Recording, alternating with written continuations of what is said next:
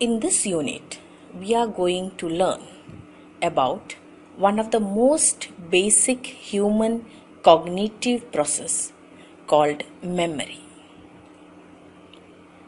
John is studying for a test which he has to answer tomorrow. To pass the test, John has to read the information.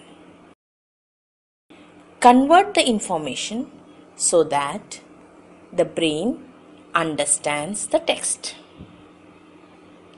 Once the brain receives the information, the brain has to store the information so that the next day John can answer his exam.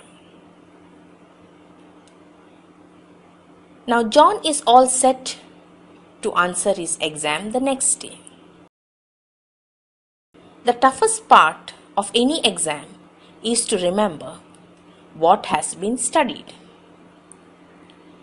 John is all ready to answer the exam.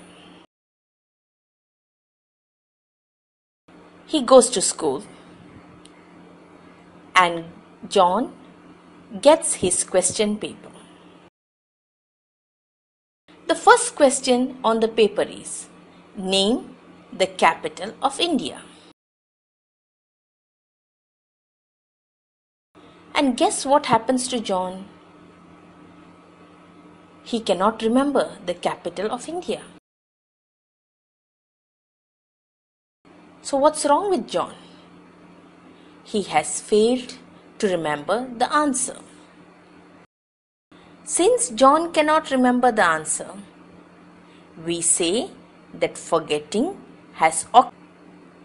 Thus, we can refer memory to encoding, storage, and retrieval.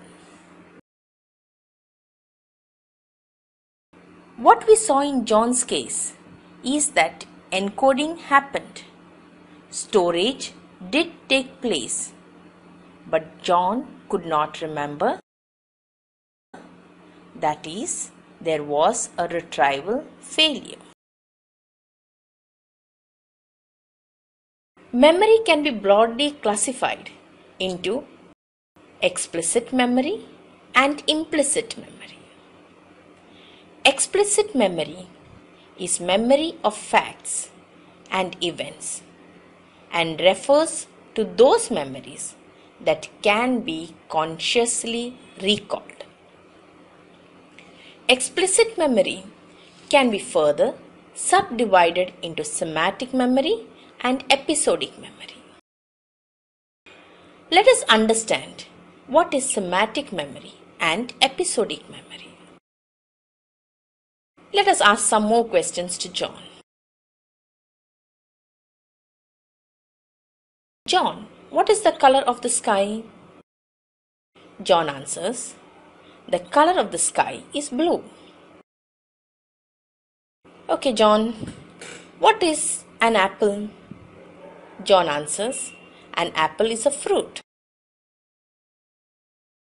How could John answer these questions? When John answered these questions, he searched his semantic memory for the answers. So, what does semantic memory really mean? Semantic memory refers to the general world knowledge that we have accumulated throughout our lives.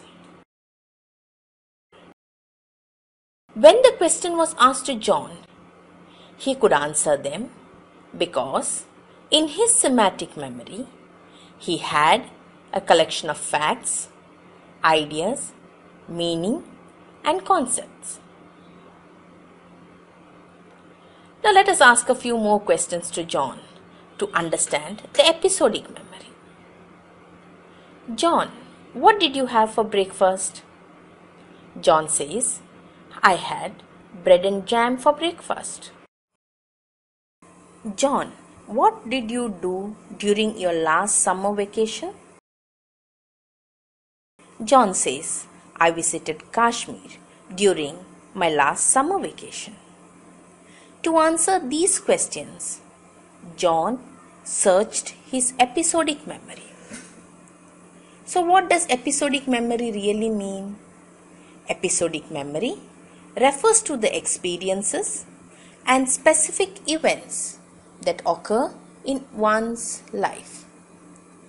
When the questions were asked to John, he could answer them because in his episodic memory he could recreate these events in his memory at any given point of time, like the trip to Kashmir, having breakfast, an accident he may have witnessed, first day at school.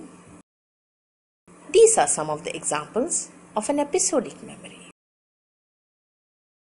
So, the difference between semantic memory and an episodic memory is semantic memory deals with ideas, facts, and concepts. An episodic memory deals with life events that we have experienced. In semantic memory, time of memory formation is not relevant. In an episodic memory, time is an important factor.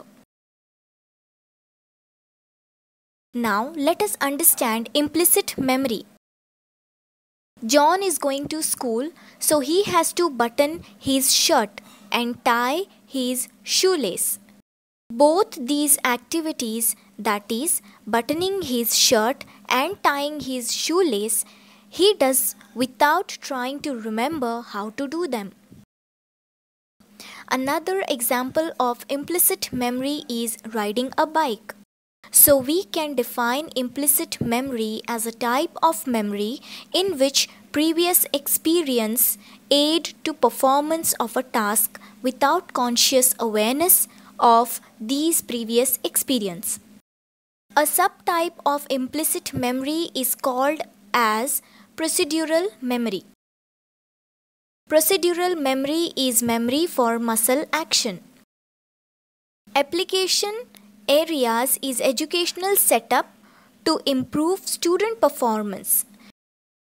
Students can be trained to improve to recall the learned information and performance.